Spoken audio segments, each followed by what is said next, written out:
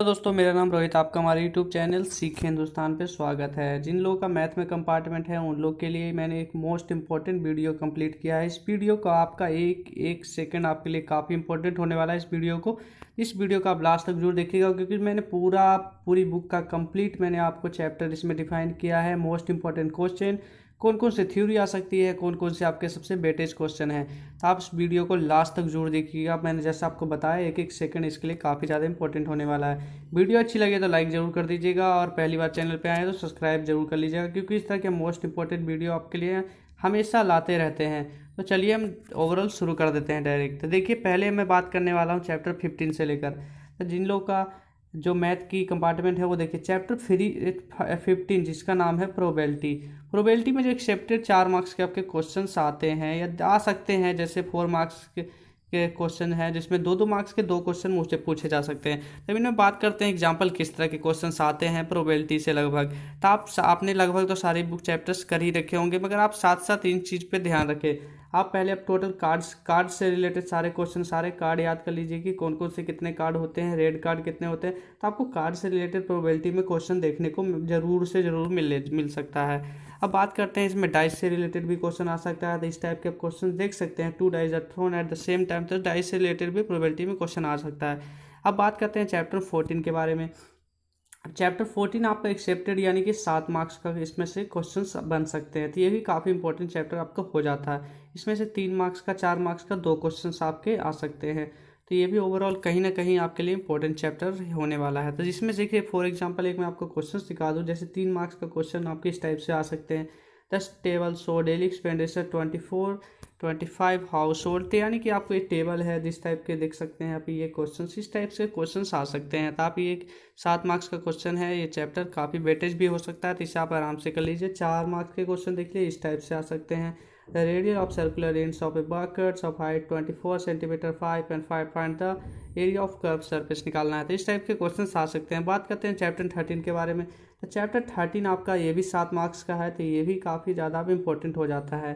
तो आप इस इस चैप्टर को भी बढ़िया तरीके से साथ ही साथ अपने सिलेबस में शामिल करिए और इसको भी साथ साथ करिए।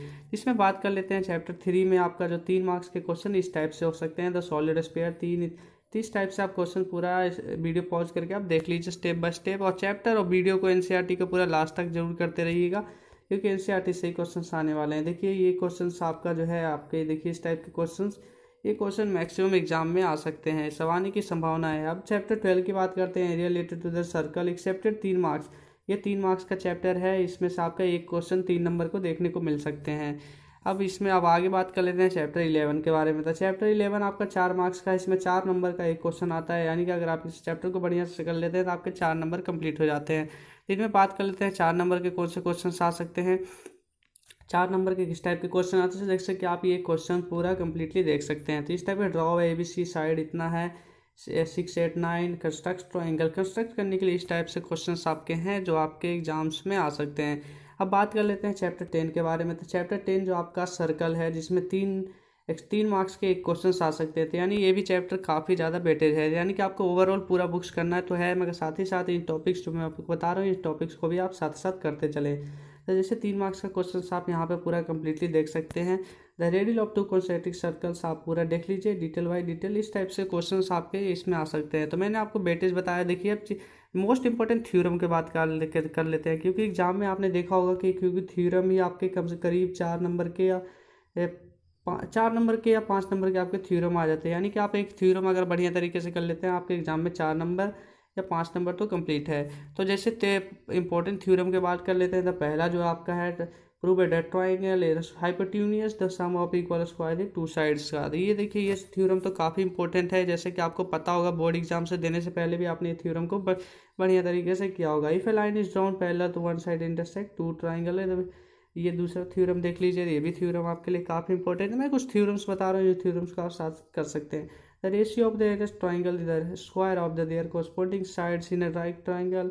ये तीसरा थ्योरम देखिए, ये भी है आपका। तो ओवरऑल थ्योरम्स है जो काफ़ी ज़्यादा इंपॉर्टेंट है। आपके एग्ज़ाम्स के लिए तो आप इन थ्योरम्स को भी साथ ही साथ कर लीजिए। देख लीजिए, ये equal of the sum square of the other two sides angle opposite है। ये कुछ रहे थ्योरम अब बात करते हैं आगे के चैप्टर को। तो आगे के चैप्टर्स के लिए मैं आपका पार्ट टू वीडियो डालने वाला हूँ। जिस पार्ट टू वीडियो में आपका कंप्लीट कर दूँगा। पार्ट टू वीडियो मेरा आज ही आने वाली है तो आप वीडियो का थोड़ा इंतज़ार कर सकते हैं। आप इन चैप्टर्स का तब तक कम्प्लीटली करिए कोशिश हो कोई क्वेश्चन या कुछ भी हो तो आप बेझिझक पूछ सकते हैं। क्वेश्चन का मैं रिप्लाई आपको देता ही हूँ, जैसा आपको पता होगा। कंपार्टमेंट एग्ज़ाम में आपकी पूरी कंप्लीटली हेल्प करने वाला हूँ। फ़िलहाल के लिए इतना ही। आगे देख बने रहने के लिए हमारे साथ जुड़े रहिए। वीडियो को लाइक करना।